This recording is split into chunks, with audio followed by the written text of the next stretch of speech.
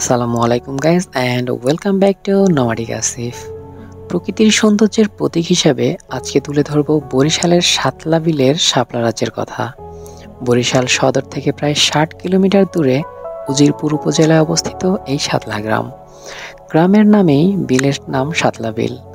তবে শাপলার রাজত্বের কারণে সেটি এখন শাপলা বিল নামেই বেশি পরিচিত। প্রাকৃতিকভাবে গড়ে ওঠা এই বিলটির আয়তন প্রায় দুশো একর।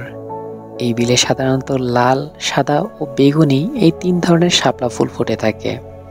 সাধারণত সেপ্টেম্বর থেকে ডিসেম্বর পর্যন্ত এই বিলে শাপলা থাকে। শাপলার এই সৌন্দর্য মুগ্ধ ও মোহিত করে হাজার হাজার ভ্রমণ পিপাসু আর ফটোগ্রাফারদের। তাই এসব প্রকৃতিপ্রেমী মানুষদের কাছে শাপলা যেন একটি অন্যরকম স্বর্গরাজ্য।